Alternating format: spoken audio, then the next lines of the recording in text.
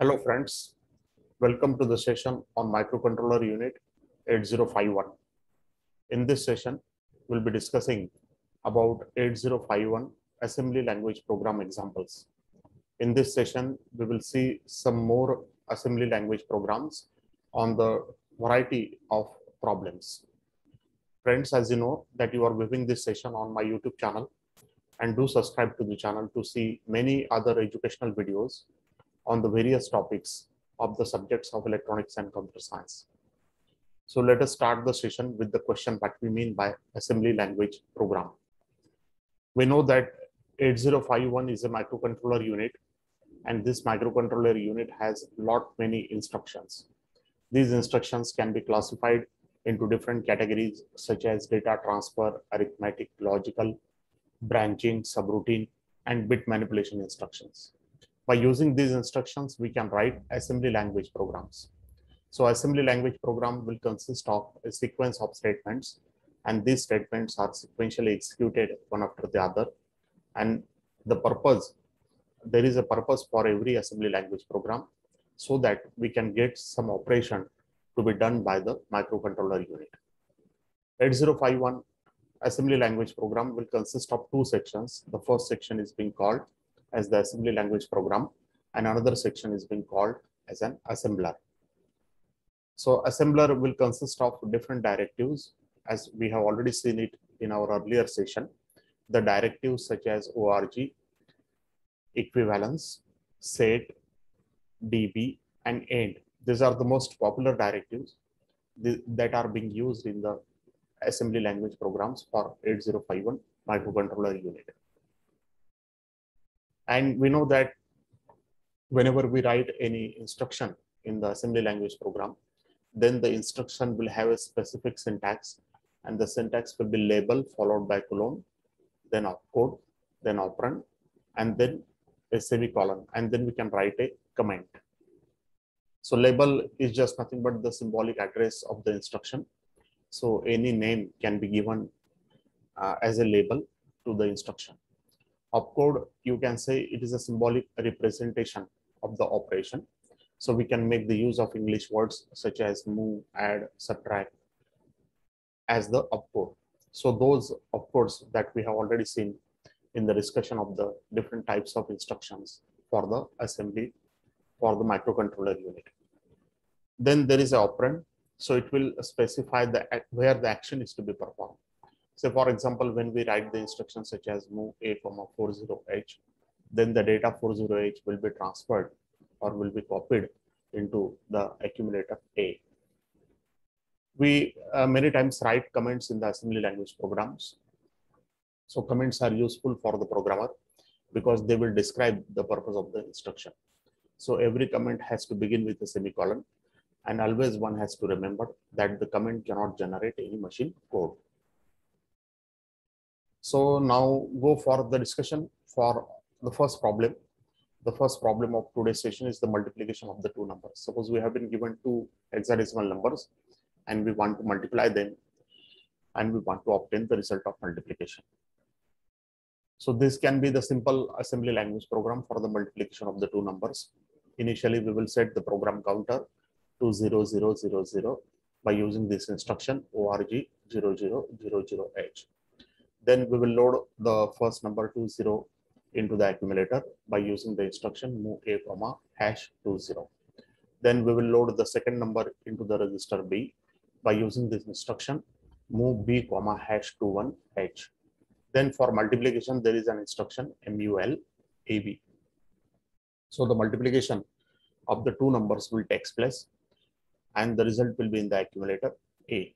So this result has to be moved to the location 5 to by using this instruction move 5 to h comma a. So the least significant byte of the result will be moved to the location 5 to. Then we will uh, save the most significant byte of the result to the location 5 3 by using this instruction move 5 3 h comma b because we know that the most significant byte of the multiplication will be in the register b. And then finally, we will end the program by making the use of end directive. So whenever uh, you type this program in the text editor window of any 8051 simulator. And if it is correctly typed, then you can click on this run button in order to execute it. So after the execution, one can easily observe that in the location 52 and 53, you will get the result and the result will be the location 52 will consist of 20H and the location 53 will consist of 04H. Now let us go for the division of the two numbers. Suppose we want to divide the two numbers. So this is an assembly language program.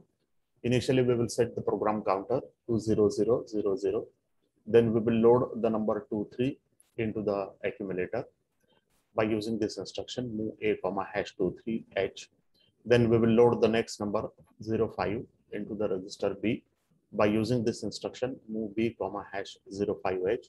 Then we will divide a by b by using this instruction div ab. Then the quotient of the result will be moved to the location 52 by using this instruction move 52 h comma a.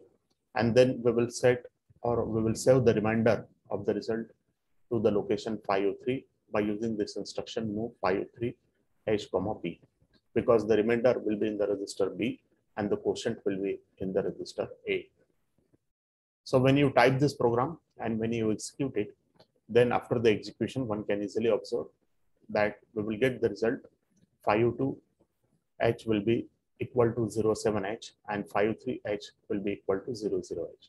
So when you divide this number to 3 hexadecimal by using a number 05 hexadecimal, then you will get the result equal to 07 because 2, 3 hexadecimal is just nothing but 35 decimal. Now let us go for another problem. This is the ones and twos complements of the number. Frequently, we require to obtain the ones complement and twos complement of the numbers.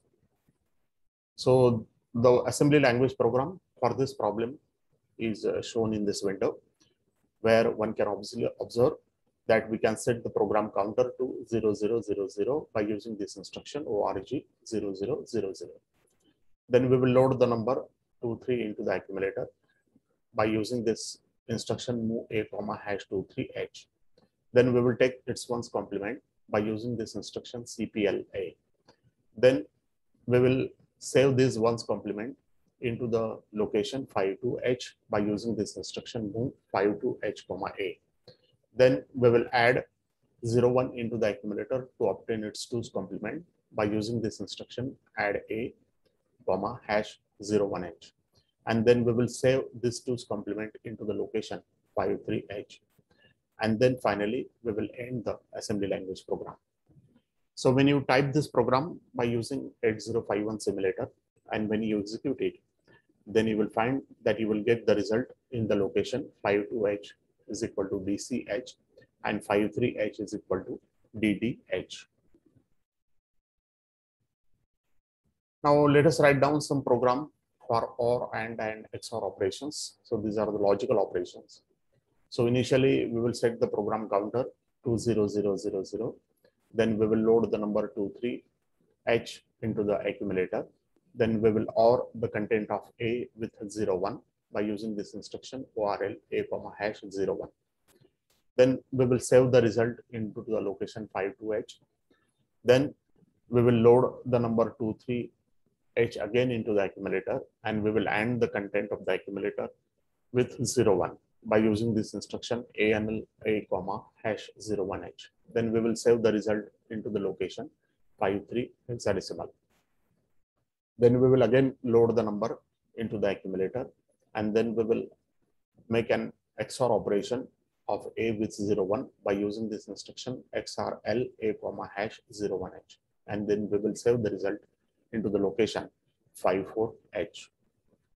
So when you type this program by using any 8051 simulator into the text editor as shown in this window, if it is correctly typed and when you run it, then you will get the result that in the location five 52H, you will get the result 23H, 53, you will get 01H, and in 54, you will get the result 22. So on, in this window, you can easily observe that you are getting the corresponding results at the respective memory locations.